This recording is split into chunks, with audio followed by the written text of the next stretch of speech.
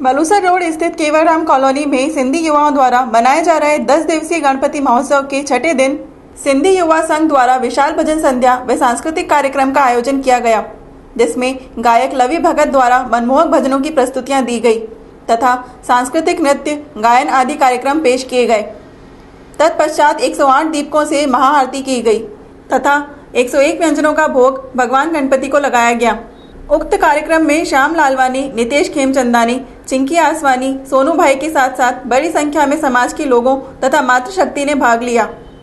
मलूसा road स्थित केवल Ram colony में सिंधी समाज के युवाओं के द्वारा जो गणेश मूर्ति की स्थापना की गई है, उसमें आज 108 दीपकों से महाआरती की गई, जिसमें समाज की मातृशक्तियों ने बढ़ चढ़ के भाग लिया, जिसमें अजमेर शहर के मशहूर भगत, गायक रवि भगत के द्वारा सांस्कृतिक कार्यक्रम की प्रस्तुति दी गई, जिसमें 101 भोगों का प्रसाद गणेश जी को लगाया गया यहाँ नियमित जो आरती होती है, उसमें 21 भोग नियमित रूप से लगाए जाते हैं, जिसमें सिंधी युवा संघ के नितेश जी, खेमचंदानी का, चिंकी जी का, और भी यहाँ के उपस्थित सभी, सोनू जी का सबका सहयोग रहा। इसके लिए हम सभी का बहुत बहुत आभार।